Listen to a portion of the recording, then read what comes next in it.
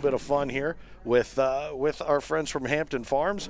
They are the sponsors of what we call the Big Blind Draw. And if you've ever been involved in a cornhole tournament, you know what a Big Blind Draw is. It's an opportunity to play with somebody maybe you've never played bef- with before. But this particular case, the Hampton Farms Big Blind Draw, has now morphed into something else called the Hampton Farms Big Blindfold Draw. And uh, this is a little different than most corn player, cornhole players have ever done. So we're going to throw it out to the center court and the cornhole dude, Frank Gears, talk to these players and let them know what it is they're about to do. Oh, Finn, thanks a lot. Uh, we got a, again the Hampton Farms Big Blindfold Challenge here. And I'm going to give both of you gentlemen a blindfold that I'm going to need you, require you to put this on. Put your bag down on the board, please. Appreciate it. Blindfold on.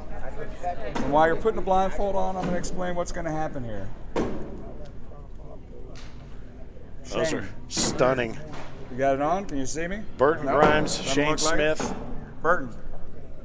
Come over here. All right. So Shane, odd or even? Evens. All right. You get the choice of throwing first or second. Which one do you want to do? We'll go first. You're gonna go first. All right. So now what I need both of you to do, all this is, is you're gonna go down. All right. You're playing for Hampton Farm peanuts and some extra cash on the side. All right.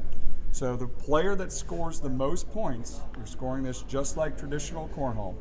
One point on the board, three points in the hole. All right. But it's he who scores the most wins the dough. All right. And so you wanted to pitch first, right, Shane? Yes, sir. Let's take it away. All right. Well, uh, you've heard uh, Frank Gears, the cornhole do lay this out. Shane Smith out of Sikeston, Missouri. Now, the way that this is going to work is one time down, as we made mention of, and all he has to do is get one on the board. And oh, it's just a dirty bag, just just a little bit shy right there. Now, one bag on the board is one point. One bag in the hole is three points. My guess is we're going to see no points on both sides because we tried this all day today and not one of us could get anywhere close.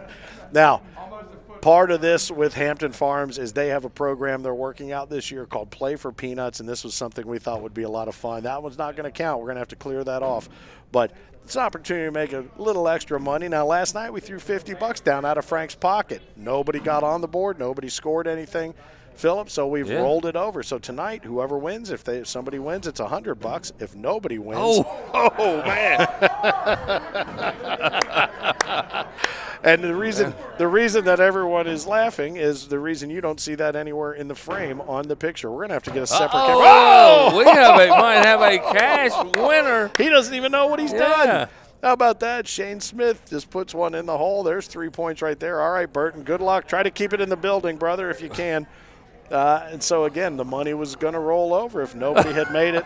if no one had made it tonight, rolled to 150. Yeah. But we already have ourselves a $100 winner. He's playing for a few extra peanuts here. Is he going to get it Oh. again? Oh, almost. Well, I'll tell you what. Uh, show off. That's what, what. after we tried this like 15, 20 times Oh, each this afternoon. I was lucky I didn't take out one of the cameras with a, Yeah. with a bag earlier, but I, with my blindfold off, Philip, I'm not that much better, to be honest with you. And this is another one from Burton. It's found itself two zip codes away from the board, and that's going to do it. How about that? Shane Smith grabbed himself a little extra cash. He's playing for peanuts. He grabbed an extra hundred bucks Yeah. in the big blindfold challenge. Thanks to our friends from Hampton Farms. That was nicely done. That hundred dollars being handed over right there. Yeah. Burton, nicely done. We're going to go uh, see if we can get AAA to help us find the bags you threw.